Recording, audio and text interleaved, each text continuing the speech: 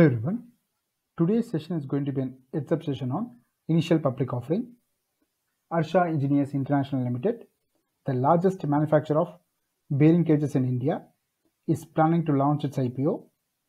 Before we look at the IPO details, let's quickly understand the importance of bearing cages in automobile industry, which is witnessing strong traction in the market. Arsha Engineers commands around 50% market share in India's organized bearing cages market.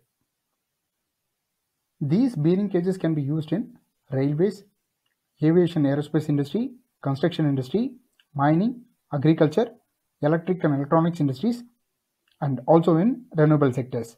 Let's look at the IPO details. The price band has been set between rupees 314 and 330 per share. The potential investors will be able to bid for the shares in multiples of 45, which makes one lot worth around rupees 14,130 to 14,850. Let's look at the IPO timelines. The bidding begins on 14 September, ends on 16 September. You can apply for the IPO between these dates.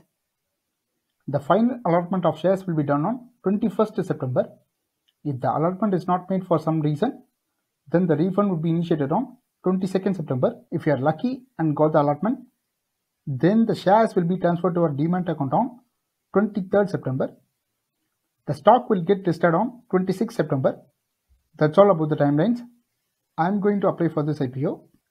If you are interested, you can check with your financial consultant before you proceed. This time, I'm expecting some listing gains. In my view, the listing price will be around 400 levels. Let's hope for the best. By God's grace, everyone should get good amount of returns from this IPO. Thank you for watching the video. Please read all the disclaimers carefully before you make any investments. Take care. Bye bye.